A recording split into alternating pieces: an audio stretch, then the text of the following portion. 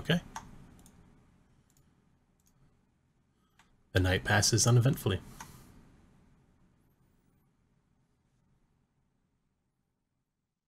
Great. Uh, Amir will, when he wakes up early in the morning, he'll uh, he'll kind of check on Logan and make sure he was okay if there was rest, and then he'll go about packing up the camp, putting out the fire, settling people's belongings that are like out in the open or like, you know, clearly like like leftover like trash or anything like that. He'll kind of scoot aside, but he won't touch anybody's personal belongings. And then he'll just wait for the company to wake up.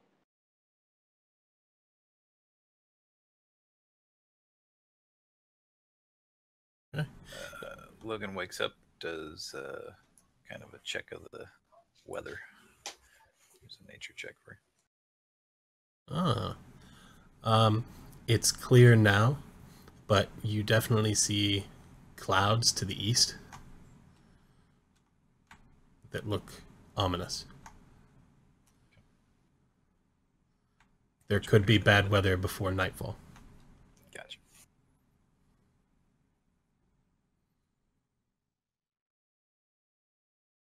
Um, I asked Durden or Durin, whatever his name is, how much, uh, how Durbin, how long it would take to get to the next uh, sheltered campsite.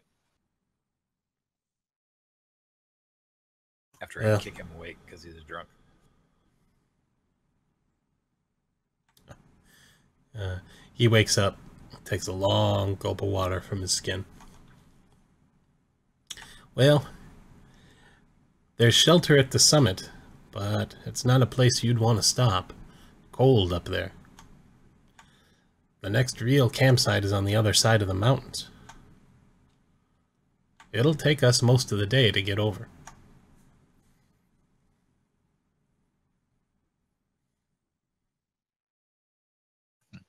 We'd best get going then, eh? Yep. I I'd Okay. like to make it on the summit if possible. Camping in the cold sounds miserable.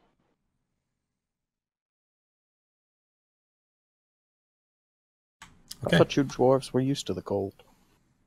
Uh, survivable and used to it, sure, but comfortable in it, not much. You like a warm fire just as much as anybody.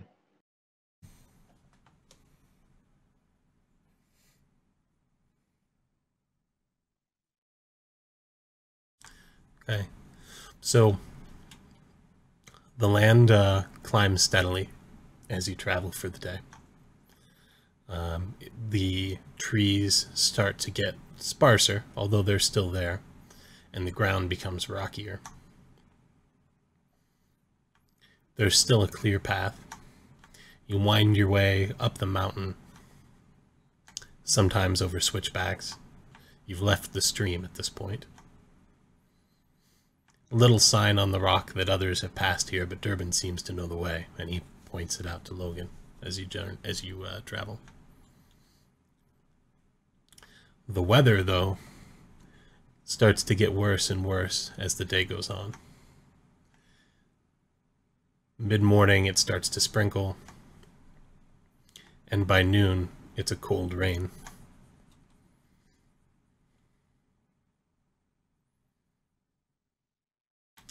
uh, a little bit afternoon, you get above the snow line. And the rain turns to a light snow.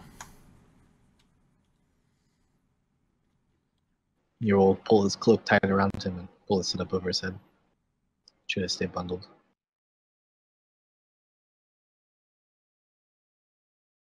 Yeah, Logan the same. Dolaman will uh, flip up the uh, hood on his cloak, but uh, he's also constantly sticking out his tongue and, and darting his head from side to side to catch snowflakes here and there. Awesome. Is it just starting to snow, or is there snow on the ground already? There's snow on the ground, but it's older snow. Uh, it had started to melt with the season, and the drifts aren't high. The path is, you know, mostly clear, although there is a, a layer of snow on the ground, but you have to be careful of your step. There's ice underneath in some places. The next time, like Logan wanders near the group because I know he's scouting a bit, I'll just call out to him. keep your keep your eyes peeled for tracks in the snow. It should be easy to pick up any signs of uh, animal or human passage. Yeah, I'll take a look around as I'm putting my cloak on and pulling my hood over my head to keep myself warm. Run a perception check and see what I can find around us. See if Okay. there's anything we need to know about.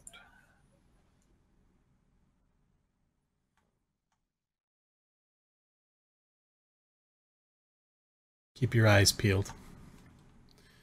It's a little harder to see now with the snow coming down. Um, but you can't see any tracks in the snow just yet. It all looks fresh.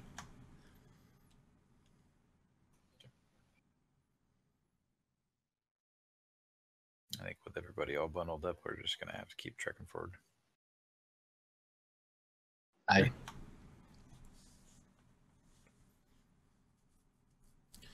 You're about two thirds of the way up the mountain now by, say, mm, one o'clock ish in the afternoon. But the sky is dark and it's hard to tell the time.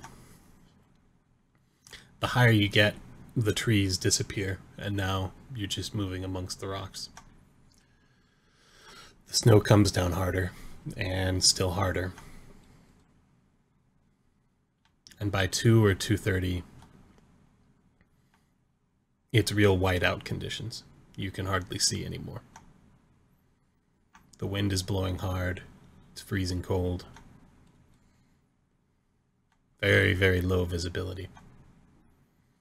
And the snow Difficult has to started walk. to pile up and drifts a little bit as you walk, yes. Uh, everybody give me a constitution check.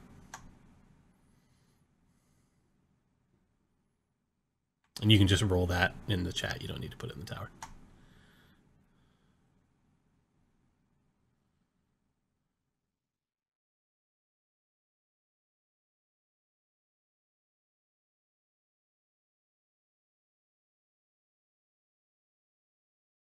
Okay. some of us are very cold. Some of you are very cold. Um, Did Fitz, you roll it from the ability side or the safe side? um, actually, Oh, I rolled the ability like a dummy. yeah, actually, I should have asked for a save. Go ahead and roll a Constitution save if you rolled just to check. Cool. Pretty basically the same result. Rip. Okay. Uh, yeah, so several of you are, are very cold. Um, so cold you start to get exhausted. I'll uh, I'll kind of stop and lean over and catch my breath. Uh, steam coming from my under my hood. Look up. We must stop soon.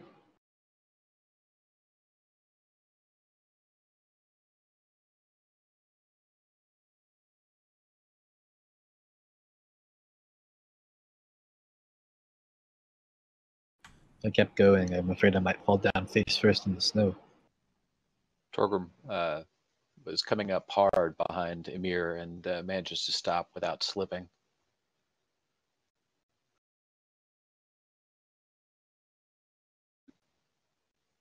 Right, so uh, dig in. I'll look to uh, Durbin. How far until the camp again? Durbin looks very, very cold, uh, and he's he's got his cloak wrapped around him very tight. He has to yell a little bit to be heard over the wind. At this rate, we won't make the camp at the bottom of the mountain, but if we can make it to the summit, there's shelter there. We can stay there for the night. How much longer? I yell back to him. An edge to my voice. Uh, he looks up into the snow. We have to be close. It's hard to say. I can't see anything really in all this damn snow. What kind of storm is this at this point in the spring? We'd be fools to travel up the summit and fall to our deaths in the blizzard. So maybe we should take shelter and look around. Kind of. Are there any trees or anything nearby? No.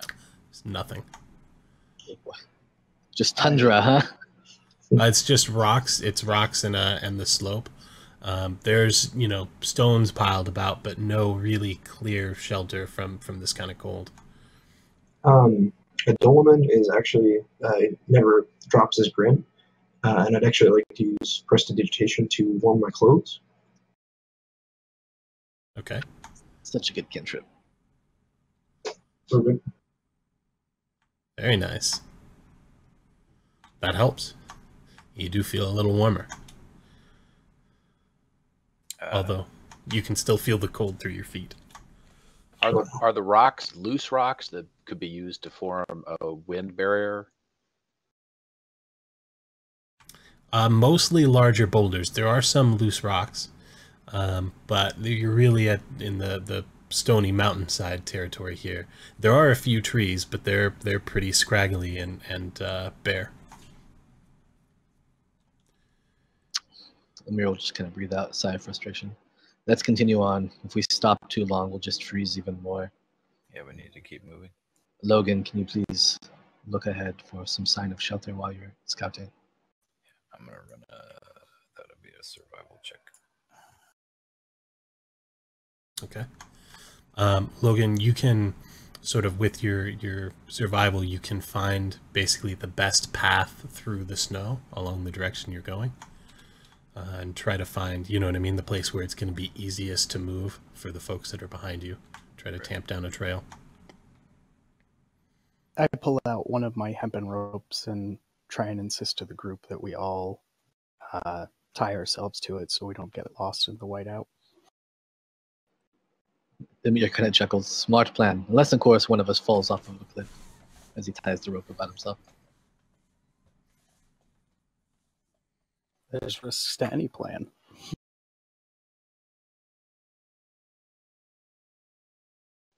Is everybody getting roped up? Yeah, rope up. Yeah, rope up. Yes. Okay. I don't know if this makes a difference or not, but I, my preferred method or my preferred terrain for natural explorer is actually mountains. Yep. Okay. Makes sense. You've definitely been in conditions like this before. Uh, it takes you some some coordination to get used to being roped to each other, and there are some moments of, you know, tugging on each other and knocking each other over a little bit. But after a few minutes, you get the hang of it. It's about another half hour. Uh, Logan, you're in front, right? Uh, roll perception for me. Just Logan or everybody? Uh, just Logan in the front. Okay. You see some tracks in the snow. You, it's hard to make them out because the snow is filling in almost as fast as as uh, you know you can make tracks behind you. But something moved through where you're at not long ago.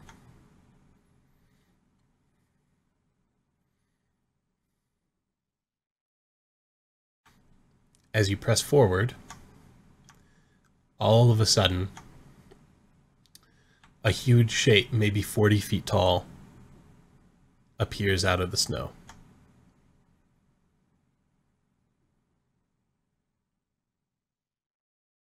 And for a moment, you remember back to Durbin talking about stone giants yesterday. I was about to yell. I, I thought you said there weren't any giants. Durbin ch- just chuckles to himself and he keeps moving. And after a moment, Logan, you realize it's a statue. It's a 40 foot tall statue of a man. His face is weathered, his features are gone. Rearing up out of the snow. This is uh, the top of the pass. And Durbin yells out, There's shelter behind the statue. Keep going. Okay. Lead the party forward. Uh, stay about 20 feet past uh, just before we get to the shelter and just kind of take a look around. See if we can find anything with the uh, where those tracks are coming from.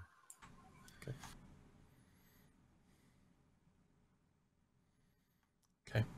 As you move forward, the tracks veer off to your left, and the statue is straight ahead. As you move closer, you notice that there's an old tower behind the statue.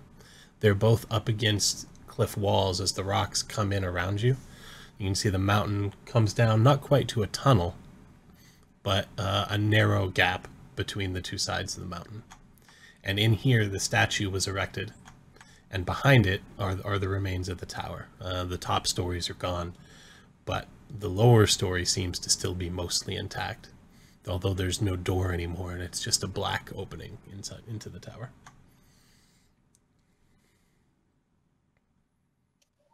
Okay, uh, Logan unties himself. I suggest everybody do the same. And Fitz, you two noticed um, the tracks as you went by.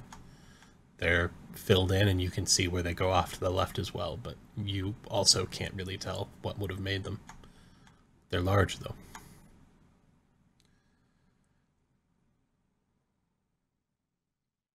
If Logan hasn't pointed them out to the party, I do. Mir kind of takes a glance over. Tracks to say, what sort? Can't tell. Can't tell, but they're big. Maybe it's those friendly hill giants. Probably best we take shelter in this tower and try to keep low. We'll need a fire, but I, I look at the entrance to the tower uh, door. Is it possible to like drape a cloak or something over the entrance to kind of block most of the uh, the light of the of a fire? You probably could.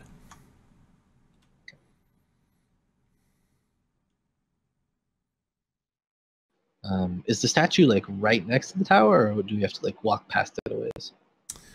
Uh, the statue is sort of built almost right up against the cliff uh, on the left hand side, almost into the cliff.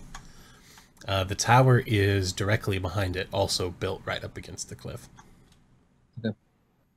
Um, so like as we walk towards the tower and past the statue, I presume, if it's adjacent, um, I'll stop and kind of run my hands over the statue, admiring it, do a stone cutting history check to see if I can figure out any details about it. Mm.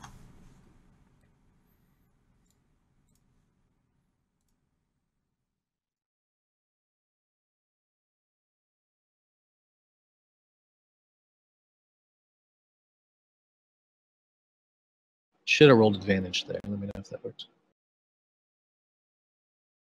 Uh, it did, although you're also at disadvantage because uh, of Yep, the 15. exhaustion. Yeah, so it just came out even. You can tell that it's human make, but not much more than that. Okay. We need to get everybody inside. We need to uh, get inside this tower and get a fire built. The fellow dwarf will take a look at it as he's coming in too, using stone cutting as well. Yeah, I'll continue on, not wanting to freeze to death and knowing that I'm exhausted and get the tower as quick as I can. And, and Torgrim, you can tell the same. Um, it's definitely human make and uh, probably several hundred years old uh, at the at the earliest, or at the most recent. Excuse me. All right. Relay Likely- that is I'm coming in and shaking off snow.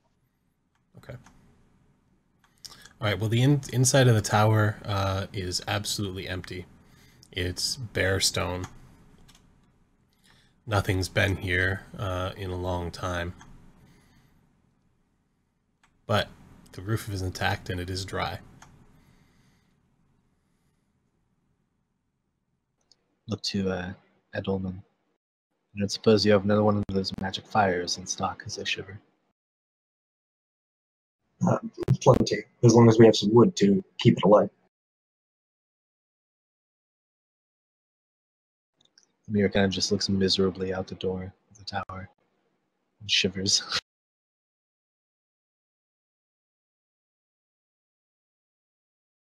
Since he's been there before, Fitz asks our I can't remember his name, our guide, if he knows anything about the the statue. Well, there was a, a small, and he's shivering as he's speaking. There was a a small kingdom of men here before the orcs came. I don't know what it was called. The lords never returned when the orcs were driven away. This must have been their make.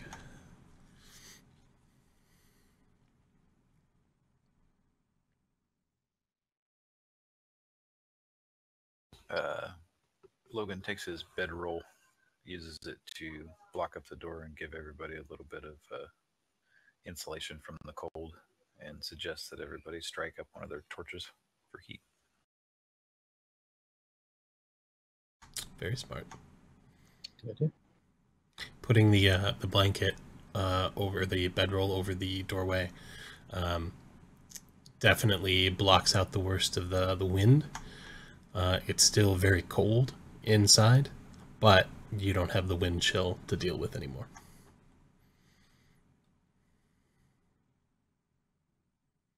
Yeah, Amir will, uh, you know, strike up his torch and kind of wedge it into the ground as best he can and sit next to it and try to warm himself.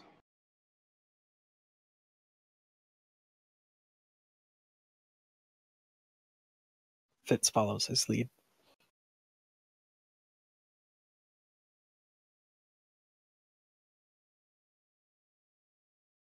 Teeth chattering, he looks around the room. I suppose we should make camp here for the night. Durbin just nods and puts his back against the the wall of the uh, tower and huddles himself up, taking a little sip from his flask. If if the storm breaks, we can make it down the mountain in the morning. Amir looks around. Anybody uh, warm enough to keep watch?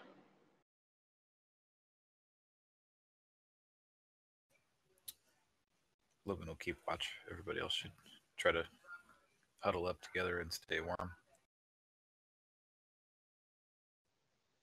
Torgrim can stay on watch a little bit too, since he isn't wasn't affected by the cold as much as everybody else. Where are you guys uh, keeping watch? Um, well, before I keep watch, I want to do something. Yeah, presumably you don't want to be in the tower, I'm guessing, because you won't be able to see out past the bedroll.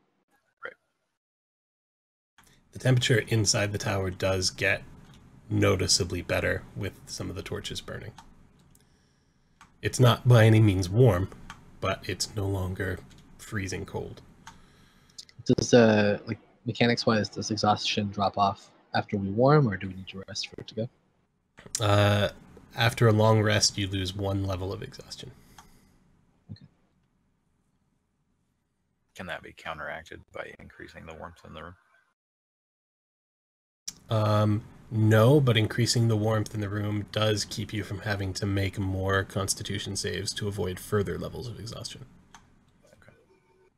Okay. Basically, we all as you stay cold, uh, you're making one constitution save an hour to avoid getting progressively more and more frozen. Gotcha. and presumably we- we only have one level of exhaustion at the moment. Correct. Yeah, so Amir will just bundle up and put his head down once he's warm and, and try to sleep. Okay, I'm gonna make my way out the door, close it behind me, um, kind of track back to go see if I can find those tracks. Okay.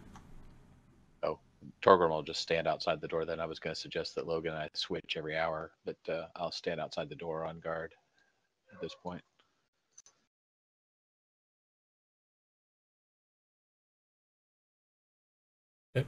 Uh, roll survival for me, Logan.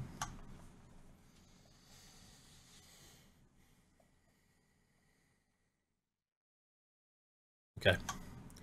You find uh, where the tracks were. You're able to retrace um, the steps of the groove. The wind is still howling, and the snow is coming down pretty good. Although in here, where the statue is between the, the walls of the mountains, the wind is a little bit less. you're able to find where the tracks diverged and headed off to the, I guess it would be the south. Uh, but pretty soon they're swallowed up in the snow. Um, I am going to head back to the camp, and on my way there, I'm going to leave a hunter's trap out in the snow. Okay. Sounds good. Uh, and on your way back, um, you also are like find as you're wading through the snow, you find a little bit of wood that is absolutely soaked through, but you could drag it back if you wanted to to keep the fire going. Yeah, definitely. You want me to run an athletics check or? Nah.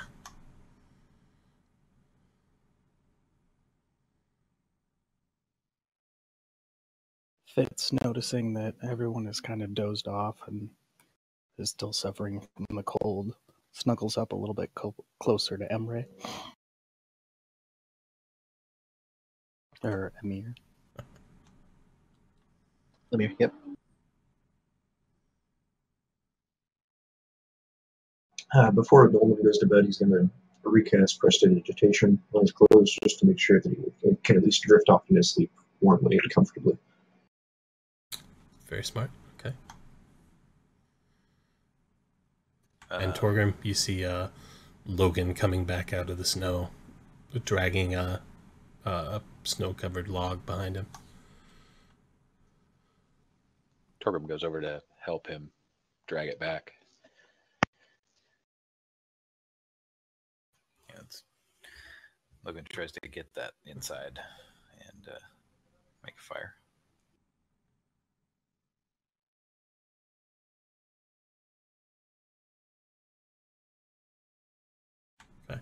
It takes a little bit for it to uh, dry out enough and for the fire to catch. But between all the torches that are there and, and uh, burning another one, you're able to keep the fire up long enough that uh, fire catches on the uh, the log you dragged in. So you've probably got enough wood there um, to keep the fire burning until morning. Or pretty close to it, at least.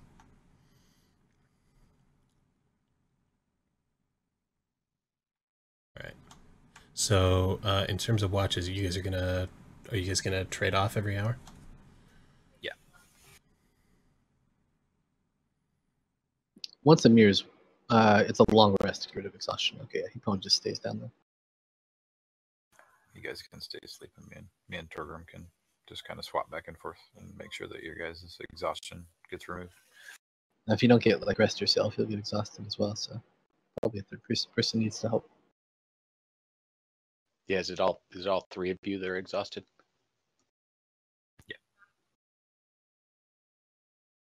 I guess you should probably just split the shift in half so you can rest. It's fine. Is our guide exhausted? He is quite exhausted. Yeah, he damn near died. Does It's, does that mean drunk? Uh, yes, and yes, both meanings of exhausted. He's shivering and still drinking as he tries to drift off to sleep.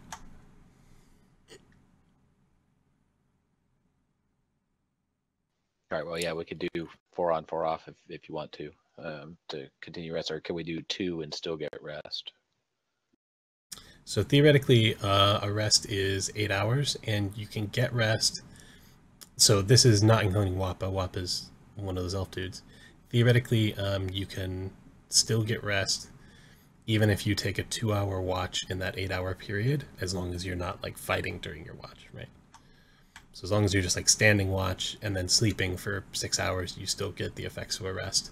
Um, for Wappa, it's basically the same, except it's uh, um, you need four hours of you, you can't really like watch while you're trancing you're not asleep but you're not terribly perceptive or anything right you're meditating Yeah, so one of you can do six, and then the other can do four or whatever. yeah, so I'll take six. Let let Torgrim sleep, and then he can, and then Torgrim can take the last four while I trance. Sounds good. Okay. Um, roll. Uh, give me a perception roll up.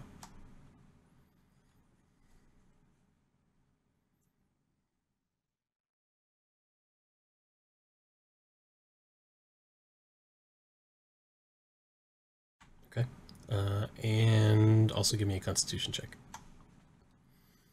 Or Constitution save, excuse me.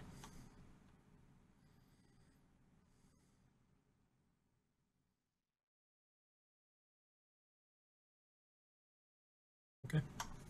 It's cold. It's definitely cold. But you do avoid uh, getting so cold you, you get exhausted. The wind is still blowing and the snow is coming down pretty hard, but no sign of anything else. It's very, very dark. You really can't see much of anything, even with your uh, your dark vision, given how hard the snow is blowing.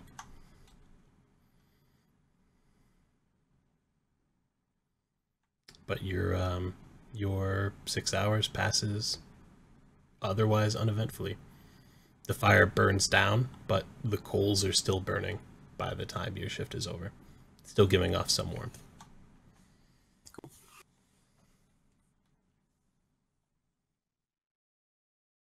Before I wake up Torgrim and go into my trance, I want to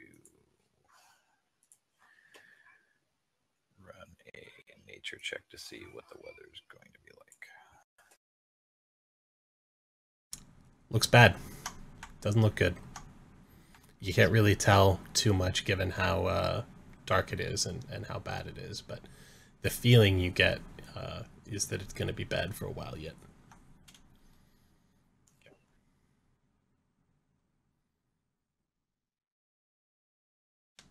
All right, I wake up uh, Torgrim and have him do his watch, I guess.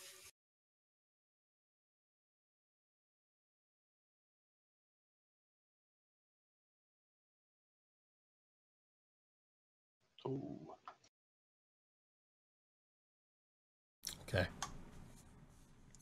It is very cold, colder than you expected.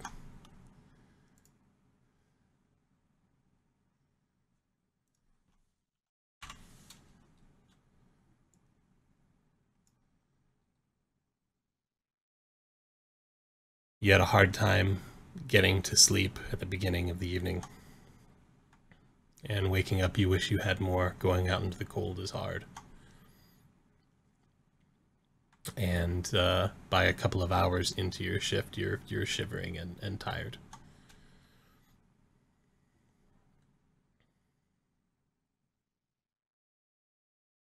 Um, you don't notice anything out of the ordinary, but just blinding snow and blowing wind. About say two and a half hours uh, into your into your watch. Durbin stirs and wakes up behind you, shivering.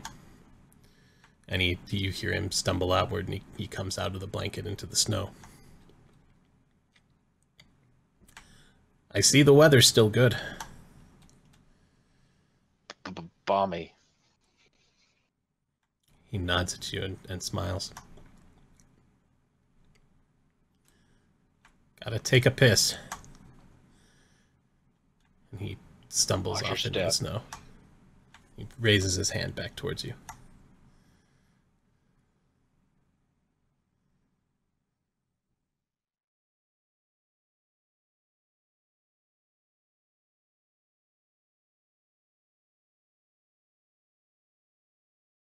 It's about five minutes later when you hear a scream. All right, I'll uh, smack the uh, my weapon against the door to wake people up. Could have a problem, and then the scream I'm supposing came from the way that he stumbled off. It did. Just one long yell and then nothing. Okay. Even exhausted, I guess I'll uh, start his direction. Right, Amir will rouse, flip back the bedroll, look around, and glean, like kind of squint through the uh, the blinding wind. It's it's dark still, correct? Right? It's still dark. Yes, it's probably um, maybe two hours before dawn. Did uh, do we get enough rest for exhaustion to drop, or are we still exhausted? You did. Everyone but uh, Torgrim is effectively rested. I'll uh, grab my, my weapons and step out and look for Torgrim or whoever was supposed to be on watch. It. He's not really sure at this point. Yeah, probably see me stumbling off into the uh, wherever, which direction the, our pal went. I'm gonna jog to catch up. Hold, hold on a second. What's going on? Durbin went out to pee and just screamed. One scream only. Stopped, going to see what what happened to him. And he went um, he went east, back the way you'd come through the, the path you cut in the snow at the beginning of the night. Can we see his tracks? They've covered up. Um, make a survival check.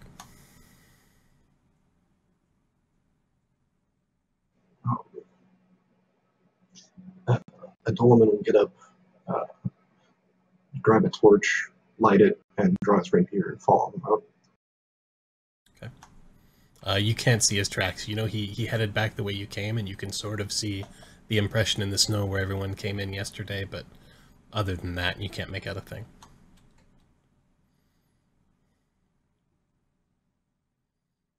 Right. Logan comes outside and make sure, points out the tracks to you as you come out. make sure he points at the spot where he. Actually, I'll just go pick up my uh, hunter's trap. Make sure nobody steps on it. You find Durbin dead in your trap. No, no, you don't. Uh, no, the trap has not been sprung. Uh, I too will run a survival check and see if I can discern anything else from the tracks. You can see that uh, somebody passed back the way you'd come in the snow. Um, you see the tracks, and you can't see much farther than maybe uh, 15 feet out from the tower, but the, the tracks went that way. Is uh, every everybody awake at this point? Or there's still people sleeping?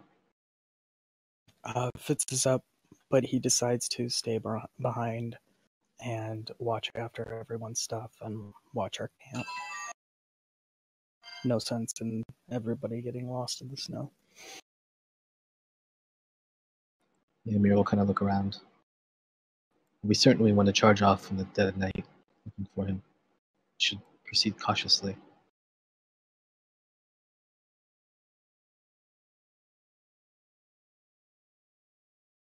Okay, so out of character for a second. Um, with the Mask of the Wild ability, I can attempt to hide, but can I actually can I move, or does that fall under stealth? Um, you can still. So what you do is you would make a stealth check, and so what the allows you to do is hide under conditions normal people would not be able to hide under. Right. Um, then you'll you'll still have to roll stealth and you know contest that against somebody's perception. But you do have an advantage in that the snow is coming down hard enough that it effectively counts as um, being heavily obscured more than say five feet away from you. Okay. Um, so I will roll stealth and then follow the track. And Okay. then if there's anything there, I'll, I guess I'll have to run a stealth check. Yeah, Ymir will let Logan take the lead and stay a good, as far enough behind that he can't see him, but like slowly creep along the path where his footsteps are. Torgrim taps uh, Emir on the shoulder as they head off. Um, leave it to you two. I need to get warm. Okay, we'll we'll come back if we spot anything. Torgrim goes back inside.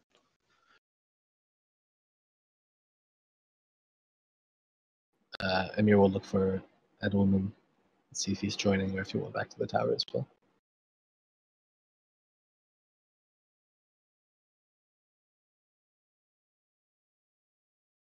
I think uh, Scry, you said uh, a, Jol- a Dolman was coming. Ah, yes, with a torch and rapier drawn. Okay. Yeah, I'll, I'll just like stay far enough back that I don't impede on Logan's ability to kind of scout, uh, and I'll, I'll suggest the same uh, to Edelman. You should stay back and let Logan poke ahead. Your torch might give us away.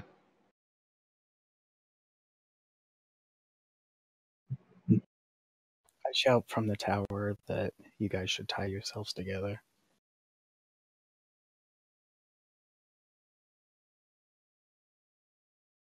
Uh, I don't think I brought my rope with me, so I don't go back for it, but just kind of relying on the light of the torch for now. Fighting things that make tracks this big while tied together is probably not a good idea. We talk about we can uh, AT-AT or ATST this. Thanks. Yeah. Okay. So, uh, Logan, you creep forward through the snow stealthily.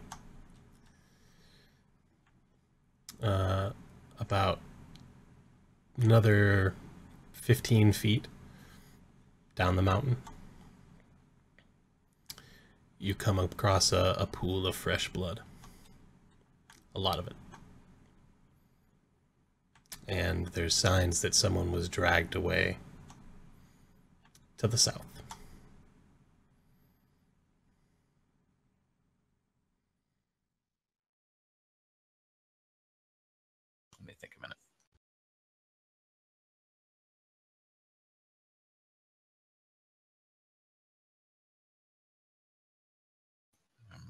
Gonna uh, investigation check on whether or not that amount of blood would lead to his death.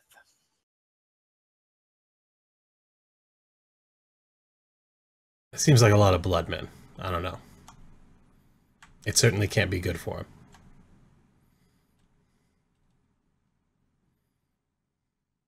But you you can't tell.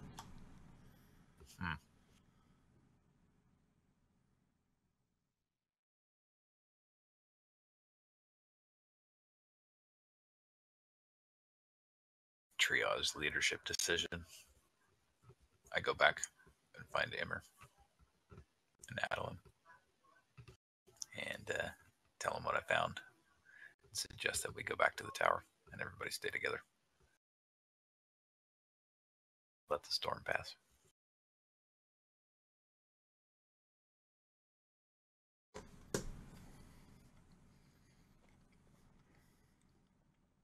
What do you guys think? Try to save him or leave him for dead? So wait, uh, Logan came back. Yeah, I came back. I came back to you guys to tell you what I found. So I'll, I'll just say it back to you. So you think he died and was dragged away by some monster? Yeah, no way of telling. There's a lot of blood, but uh, no way of telling whether he's dead or not. And I would assume that whatever did it to him was intending on his death.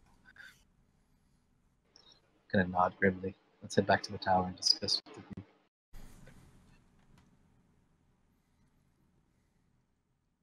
Um, adult woman doesn't stop grinning, but he nods in agreement. So once we get back, I'll kind of push aside the bedroll and walk into the tower. Well, Yep. bad news, and I'll, I'll nod to Logan. Explain what you saw. About 50 feet down the other slope of the mountain, found a large puddle of blood. Uh, looks like his body was dragged away. Can't tell if it was enough to kill him, but he's definitely gravely wounded. And uh, being as he's been drinking and it's extremely cold outside, highly doubt that he's going to survive that.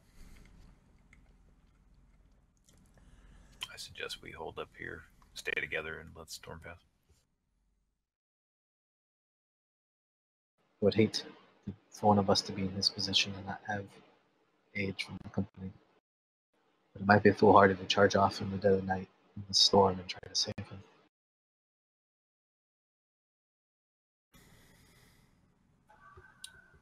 Well, we can take a vote amongst everybody and see if we want to go try and find him once uh, the daylight comes up. Not that seems fair. Agreed. Logan, we know your vote. No.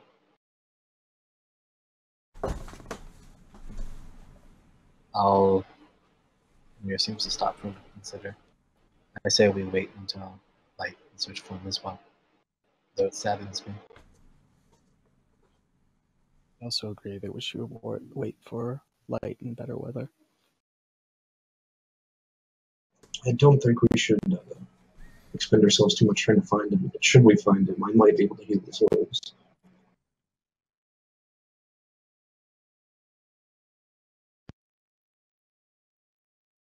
I think if we go back out there, even in the cold, in the sunshine, with the sun shining, Torgrim's already exhausted. He needs to get some rest. Uh, I'm willing to go out on my own uh, and see if I can find where the tracks lead to. See if I can glean any information from it, so we know what we're up against and whether he's dead or not. Torgrim looks up from where he's huddled miserably and, and uh, says, "If you find him and need help getting him, I'll forge out there. But uh, I think my fingers are turning black. Are my fingers turning black?